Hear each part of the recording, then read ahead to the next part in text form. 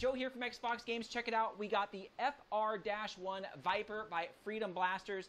Now, you know, you guys know me. 99% of the time, I'm super excited. I'm happy to do reviews on blasters that come out, especially, you know, 3D printed custom ones because I really want you guys to see this stuff.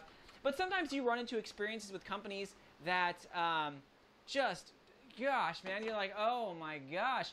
And so you guys know that a lot of these blasters up here that we got, basically five, we ordered from Frontline Foam. And I'm not the only one that I'm hearing this from. Frontline Foams, when I ordered my stuff, almost about $900, they're like, okay, two to four weeks, no big deal. Okay, after a couple weeks, they're like, oh, we're trying to order more printers, they'll be in soon. Oh, your stuff is being ready, couple more weeks. It took us over three months to get our blasters. Three months. Now we have additional stuff on order because we ordered more stuff thinking, okay, it's going to come in in time.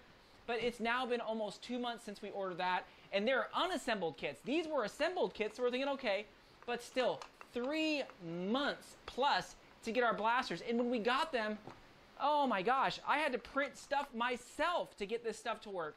So, you know, again, Freedom Blasters, if you guys are watching this, you guys should probably you guys should probably really check you know companies that are printing your stuff and giving you incentives you know or whatever you know additional revenue from some of these you guys should really have you know quality control some of their stuff because when i got this it was broke i get it things happen i printed my own parts but i waited three freaking months and i still want to go over this blaster but i want to talk about my experience as well as some of the stuff that's a problem with this particular blaster now i'm, I'm sure that if somebody printed this in better quality really, I want you. I mean, the ones that I have look like. I mean, the quality that they're printing in was really, really bad. I'm gonna tell you guys that it was really, really bad.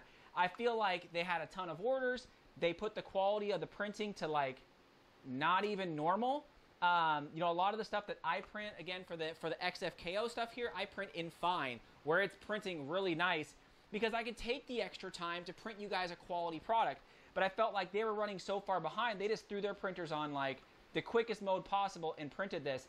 Now, sure, I could have got this as a um, all the STLs right here, but I still would have need to order the actual hardware kit from one of the companies. And I figured, you know what, to save myself time, I'll just I'll just order the whole thing put together. And I feel like, well, I'll jump right to it. I feel like when they tested this, sure, the electronics work, and if you just sat here and did this, you see the cylinder moving? Yeah, and you actually didn't fire anything out of it, okay, you're like, yeah, it, it, it works. I'm good to go. It revs, it works. But you put any pressure on this, it doesn't want to move. Or if you actually put darts in here, look at this. It just, it, it is it is not moving. Even I get it, it pushes it out a little bit. It was not moving at all. Well, very intermittently. And again, when I got it, this whole thing was broke up here. I mean, it was blatantly broke. And so I'm like, Oh, come on. Just, anyways. Um, so that's a little bit of a rant. Now, uh, this particular blaster, when I looked at it though, I was like, this thing is actually, it looks pretty cool. I, I, don't have anything like this, you know, where it's like kind of this break breech where I can pop these out, throw these in. And these were pretty cheap. I mean, these were about $4 or something like that extra. And I was thinking, okay, not too bad. Again, you can get the STLs online and you could print these yourself. Uh, depending again on your printer, if you put it on fine quality, it just takes a few hours, you know, in different colors. I figured, you know what, you could print a lot of these on one roll of filament. And we got it in our course, our kind of sweet little colors here. So looking at it, again, not too bad of a design. I think it's really, really cool. Very, very unique. I do love these kind of six slash eight shooters. It's just something that's kind of different that, um, that I've seen out there. And I mean, you know, for being a flywheel, I was thinking, okay, how, how well does this thing shoot? Check it out, 109 FPS when I was able to get the thing to shoot. Again, it was so finicky that I'm gonna have to go in and reprint some of this stuff because when I took a look at the inside, some of the stuff in there was just so poorly printed that I'm gonna have to reprint it myself to fix it. And I hope that fixes the issue. I think it will because I see the problem of, again, it was the poor print quality that I saw that is causing uh, most of the issues. Now, another thing here is again, you could run this off a 2R3S LiPo. Now the LiPo they suggested for this is the Nanotech 1.3. It's the same one that I used again for the uh, for the grass snake. This fitting in there is virtually impossible. You're bumping up against the switch up there, which is going to shift it, mess a ton of stuff up. So I don't even know why they suggest this for for the, the Viper FR1. I don't even know why they do. Really, what you should go with is one of these Gen 3s. Again, it's the uh, the 550 milliamp 3S right here. This is really what you probably should be using. Fits in there easy, tons of room, and you know, to be honest, you can get a lot of shots out of this 550 through this particular blaster. You don't need 1300 milliamps. It just you just don't need it, right? It's just that's way too many shots.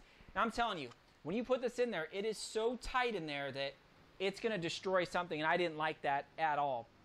Now, you know, these particular uh, blasters again are really, really unique. I think that a lot of these that I've been getting, especially over here, you know, I'm I'm like super pumped to kind of show you guys these things. But I know this thing has been out for a while. I think probably since like 2019. Um, I saw someone do a review on one. I was like, my gosh. And a lot of this, again, I'm going to 3D print in different colors, and I wanted to put it up here on my wall. Now, overall, guys, again, this is more just a rant video than anything. Overall, when you spend good money and you wait three months for a, a, a particular blaster to get to you, it should work. It shouldn't have just someone just sits there and goes like this, okay, it's spinning and it works. I hear it rev, great. You need to actually shoot the thing and test it to make sure it actually works and take the time to quality print. Again, I wish I'm gonna I'm gonna try to throw some of the stuff up there to quality print your products, especially if you're printing this for another company and you're giving them a kickback for um, you know, or a portion of the proceeds back to them for printing it, you really need to step up your game. That's why I was hoping that Freedom Blasters will see this eventually and say, you know what? Yeah, that that is ridiculous. That is not even up to the quality that I mean, even like a printer like three years ago should even be printing. I'm, I mean, again, whew, I, you guys know me. I usually don't get like this, but when you spend good money on blasters, you don't need to wait three months for them.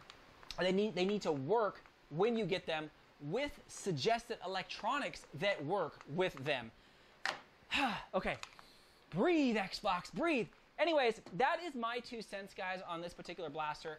I think if I can get this thing working and 3D print everything myself and get it up to speed, I'll do a complete review on it because, again, I just thought that it's super cool, it's super unique, but you know what? Sometimes you just have a bad experience with some companies where you're like, okay, I need, I need to do something here because this is not good. Anyways, Thanks for listening to me, XFox fans. Thanks again.